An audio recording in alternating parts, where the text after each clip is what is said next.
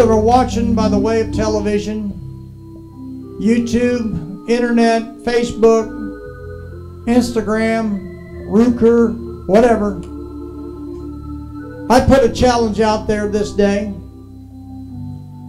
That challenge is, is to try God. You may have just turned on that switch. And you may be so far lost and gone that you think there's no hope for you, but I want to tell you today that God is still on the throne. I pointed this out last week. In the book of Acts, there is no amen to the book of Acts. That's the reason why you can still be added to the church. Today is the day that God can take your world and change it and show you how much love He has for you. All you have to do is sit down and write me a letter. Send it to the post office box that's on there. Don't send it to my church, send it to me. I'll personally read it and pray over it. And I'll tell you right now, I believe that when I pray over it, God hears me and God answers prayer. I don't play games when it comes to prayer. I don't play games when it comes to uh, playing church.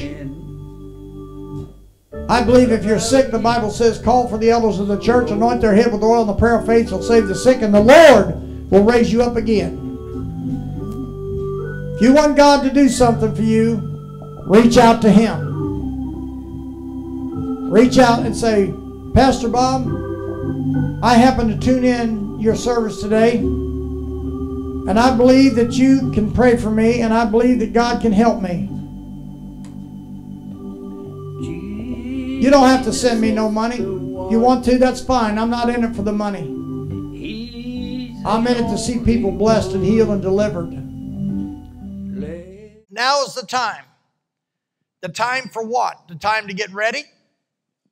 The time to prepare yourself for the coming of the Lord? To examine yourself, to search, to see if you're right with God? To make sure that you're not fall, falling for a false, false doctrine? But you know the truth, and the truth will what? Set you free. If you follow the Spirit of God, it'll never deceive you and it'll never lead you wrong. The Spirit of God is only for one reason to let you know that you can bear witness with God, God bear witness with you. Amen? So it goes on to say, verse 10. No, wait a minute. Let me read the second one. And the day of darkness and gloominess, a day of clouds and thick darkness, as moves spread across the mountains, and a great people, a strong, there has not been ever since, neither shall be any more after it, even the years of many generations. That tells me that there has to be somebody that God is preparing to blow a trumpet to get his people ready for the soon coming king. And if Jesus was to happen to walk through the door, how would you know that's Jesus? Just because somebody says it's Jesus or they paint a picture to make it look like Jesus. It's not him. But you'll know him by the Spirit. And here's how you can determine if you're starting to spiritually grow. You need a gift, it's called discernment. That gift is so important that it, it'll allow you not to be deceived or tricked. You'll know that the discernment works because you'll be in the midst of people and something will compel you to make you feel funny that something ain't right and to get away from whatever that is. Or if you go into a store, I had people like my son called me just before I got ready to come into church. He said, Hey, Dad, you ain't gonna believe this. All the stuff that's going on, why not? But anyway, he said, My transmission fell out on the highway. You know what I said? So what? It's not my problem. If you'd have done what I told you, you wouldn't be sitting along the highway. I said, go rent a U-Haul truck and go get you a place. But he was trying to save money. See, I blew the sound. I warned it. I put the trumpet out there. I warned him, but he didn't have ear to hear and he didn't take heed. And we have to take heed to what the Spirit is saying to the church this day. God cannot lie. He will never break a promise to you. And you can stand fast on His Word because His Word is settled forever. But you have to get into that Word and you have to study it to show yourself approved a workman that's not rightly dividing the word of truth. God is on the throne watching over his people. And he's got angels out there guarding you. I had somebody the other day ask me a question about how do you know? I said, here and here. And they looked over here and they looked over there. I said, What are you talking about? I said, I have two angels watching over me at all times. Now, some of you don't believe that. But if I went back in my life and I didn't know God a long time, and I started telling you some things that happened to me that had to be God be there to save me or watch over me or protect me, even though I was not saved. And you have the same thing that I had. You had protection. It was because maybe your grandma or your great grandma or your mom or your dad or somebody that really cares for you, loving you, asking for God's protection upon your life to bring you out of the bondages and bring you through the storms. Having somebody that cares. And there's a song that I sing once in a great while someone to care, someone to share all of your troubles like no other. He'll come down from heaven and he'll touch you. Every one of you have been touched by God in some shape, form, or fashion. This new year that we're in, and this is our first service for the new year. I did not put prophecies down because I'm waiting on God to give me some things, some deep things that are getting ready to happen. And I'm going to tell you something. That first opening I said is what you better pay attention to. We are in deep trouble with Satan coming and trying to steal our religion, our churches, our beliefs, your children, your husband, your wife, your boyfriend or girlfriend. He's trying to deceive everybody because he's on a journey, an end time journey to destroy and kill as many as he can before it's over with. He can't repent because there is no repentance to him. But you have an opportunity to repent. When you get mad at somebody and you say something or do something, that's the best time in the world to repent right then. Don't wait till that night, you might forget it. You might not wake up. Why should I repent? Because you don't want that dripping from your hands. You don't want that blood dripping. People used to say to me, Why do you always preach about the end times? Because we're not living in the past, we're living what's coming. The future is at our doorstep. It goes on to say, verse 9, they shall run to and fro in the city and they shall run upon the walls, and they shall climb upon the roofs, the house, and they shall enter in the windows like a thief. The earth shall shake or quake before them. The heavens shall tremble, the sun and the moon shall turn to darkness or dark, and the stars shall withdraw its shining. Can you picture that? Can you imagine that happening? Can you imagine knowing that there's something coming that's going to try to destroy, get in your house? And then God's going to withdraw all these things that we see that we call beauty. And the Lord shall utter his voice before his army, and for the camp and very great. For he is strong, and he executeth his word. For the day of the Lord is great and very terrible, and woe can come upon and who can abide. How can you abide in the day of trouble? The only way that you can abide is that you have to have this word deep down in your heart, knowing that nothing is going to harm you. Can you imagine if you were set down on a sand beach and you had a hood over your head and they were going to cut your head off because of your faith or your belief? You know they're doing that right now? These are new converts that are getting saved. You've been saved for how many years? How many times have you been warned that the day of the Lord is at hand? I've heard that for years upon years upon years. But one day God woke me up and said, No, it's not.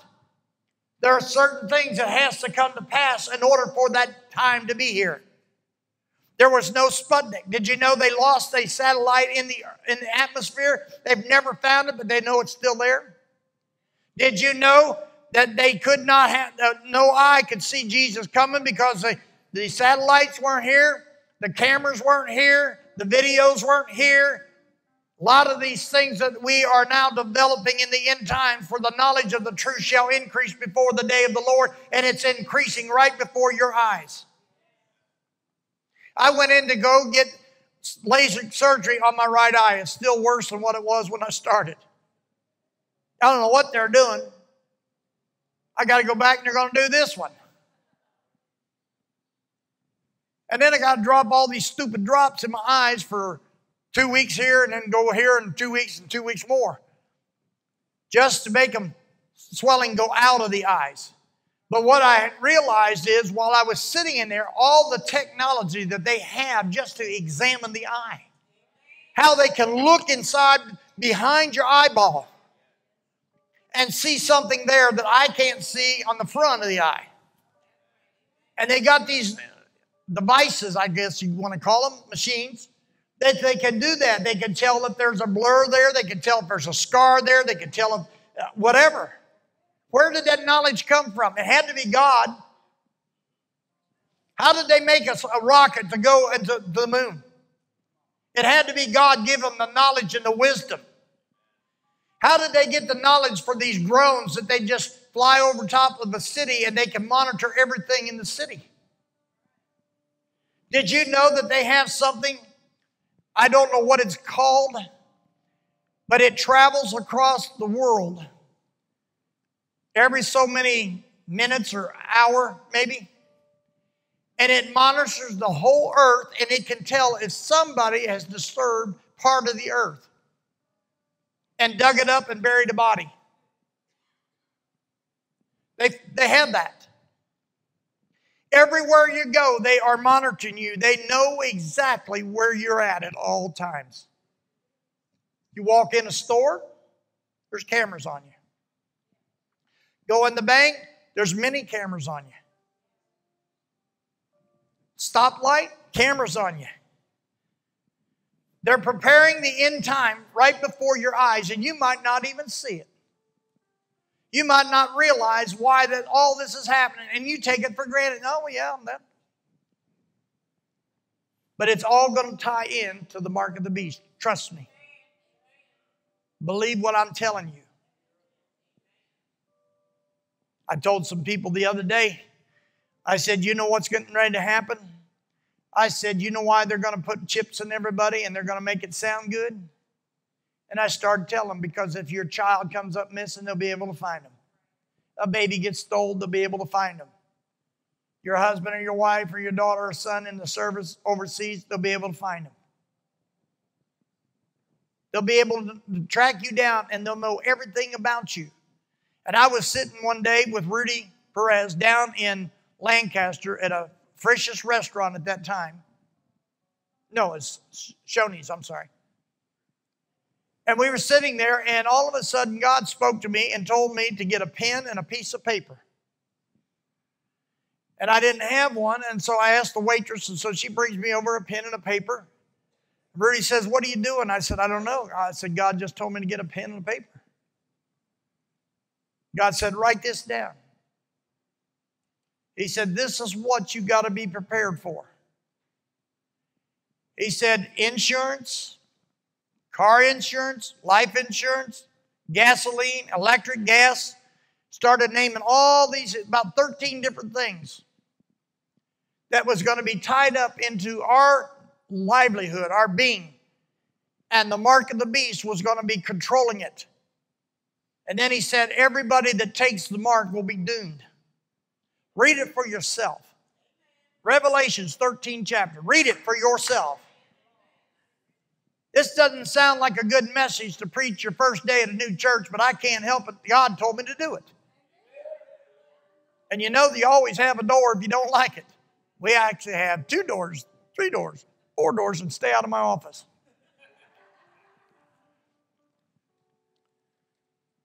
So if I blow the trumpet and sound the alarm, It's up to you to get ready. It's up to you to prepare yourself for it. I could have a choir from one end of this place to the other, packed up against the wall, shouting, dancing, screaming, and hollering, and that doesn't mean that God's in it. Hello? It's what you get in the service, and when you leave with it, tells me that you got something out of it. Why do I need to tell people to prepare themselves for the Lord that's soon coming? I have to prepare myself, don't I? I fall short just like you do. I sin just like you do.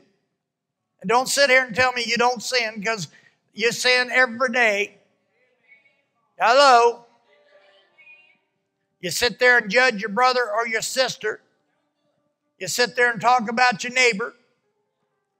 You fuss and cuss at each other.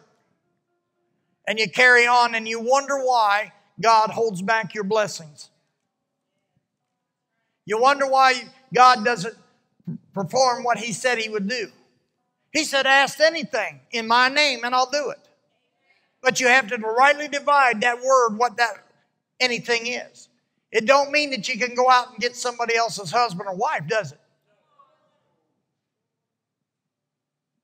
Anything that will not harm you is what I interpret that to mean. He said, First seek the kingdom of God and his righteousness, then all these things shall be added unto you. How much seeking are you doing in the end times? Are you seeking to prepare yourself for battle? You know an armed force man or woman? They have certain things they have to put on to prepare to go to battle. They have to make sure they got enough grenades, their rifles clean, got enough bullets, got the right armor, the right protection, the right camouflage, the right boots, the right socks. They have to be ready for battle. You got to be ready for the battle that's coming.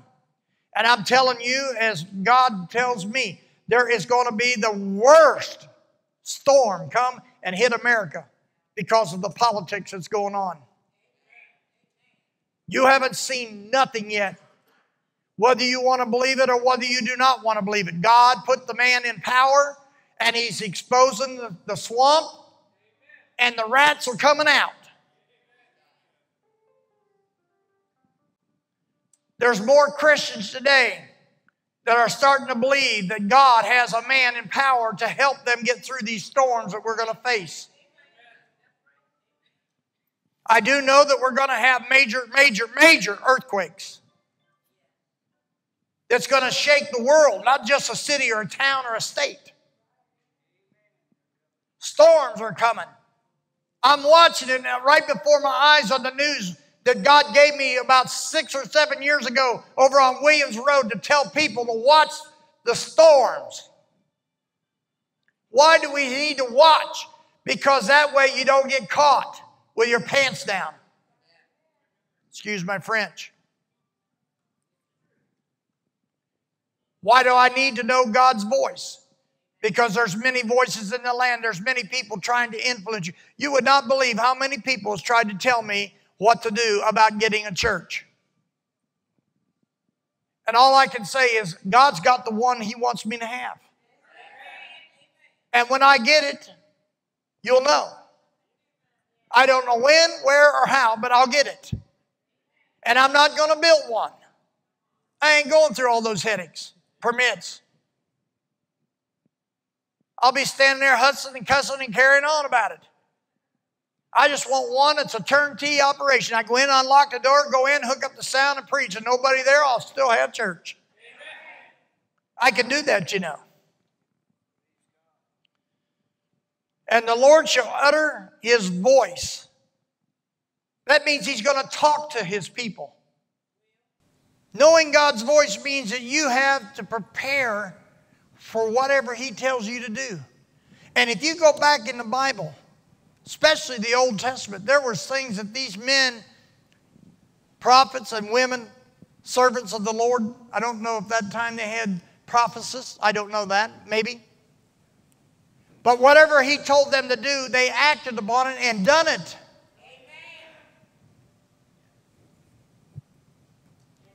Go back to Abraham. He was promised he would be the father of many nations. At what age?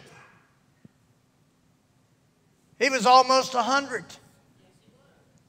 He heard God say, You're going to be the father of many nations. He couldn't even have a son at that time, could he? And then when he said, You're about to bear a son, your, his wife laughed. Then he had to go and prepare a sacrifice. Here's God telling you you're going to have a son. You're going to be a father of many nations. Now you're going to take this promise and go up on a mountain and sacrifice the promise. But if you read that story with understanding, you'll understand the reason why he was told to do that was very simple. To see if he believed God more than he trusted in what he saw. And God prepared a lamb in the bush. There was two things that was done while they were there. Before they left, he said God would provide a what? Sacrifice. He prophesied it. The son asked him, Where is the sacrifice? And as he got ready to stab him, there was a lamb in the bush. So you got to look into that stories that we read in the Bible, which are biblical stories that actually happened to give you honor and faith and trust in something that they did not see as well until Jesus came on the scene, which was the New Testament. And they did exploits. And the Bible says, They that know God will do exploits. What do you want God to do for you in the year of 2020? Takes me back to the New Year's Eve of 19 when was that? Um, the, the, the computers were supposed to clash?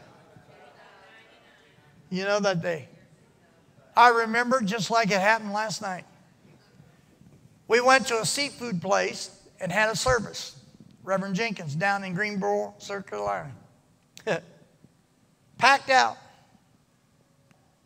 Rev was up there preaching, and it was getting really close to that 12 o'clock when all the computers were supposed to clash. And something spoke to me and said, Go tell that owner that when 12 o'clock hits, turn the lights out. I heard that voice, I'm telling you, believe it or not. So I go over and I said, Do me a favor. I said, In a, about a minute or two, I said, It's going to be the crash, go turn the lights out. And we did the countdown 10, 9, 8. And when it hit that one and that, like that, he flipped them lights off. And I'm telling you what, you could not hear a peep. They were absolutely froze in their seat. And then he flipped the lights on. And Rev was laughing so hard because he knew that I did that. And it was really funny because you, you realize something. If, if you know that something's coming and it happens just like it's supposed to happen, it can be very frightening. Especially if you know that somebody's about to die or something's getting ready, tragic is getting ready to happen, or something good's getting ready to happen. Who do you think is giving you them impressions in your mind and talking to you and letting you know or pre warning you? Hello? How big is your God? What can God can't do compared to what he can do? Number one, he can't break a promise. So if he's made a promise to you and I, then guess what? I'm going to stand on that promise. I was promised I was going to be a millionaire, but I can't tell you how much hell I've been through trying to get there. If I'd have knew it back then, I wouldn't have want that placed on my life. But the devil knows that when that happens, that I'm going to be a blessing to a lot of people. Blessings are given to you to bless other people. It's to help people in need, that you see and need. God gives you eyes to see. Kenny can't see, but you know what Kenny did? He still laid hands on a man and God healed him. Excuse me. I know this for sure that this year is going to be a major, major, major, major change in God's ministry for me. I know that. I just turned to this one, Acts. This is the um, fifth chapter, 12th verse.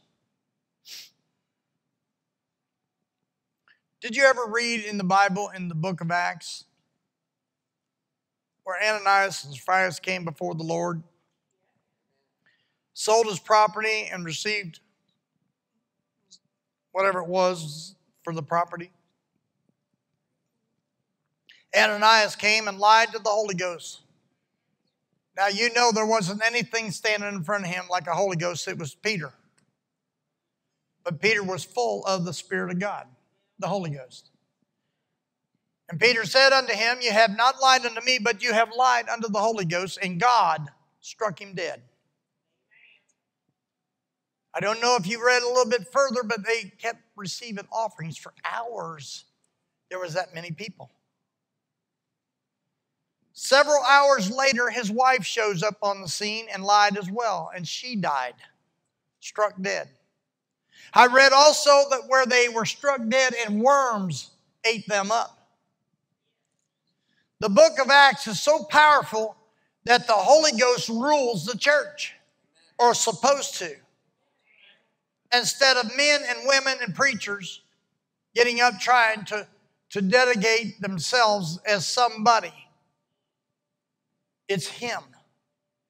I'll never forget that, that time we had service down there on Williams Road and God told me to call people out, and I don't remember how many it was 15, 10, whatever, but there was a bunch of them. And they stood right in front of me. And I said, It's not me, it's him. That, and I pointed up. How many was there and remember that? And God slayed every single one of them. Not one hand was put upon them except the hand of the Lord. And Mario's son was one of the most unbelieving guys there was.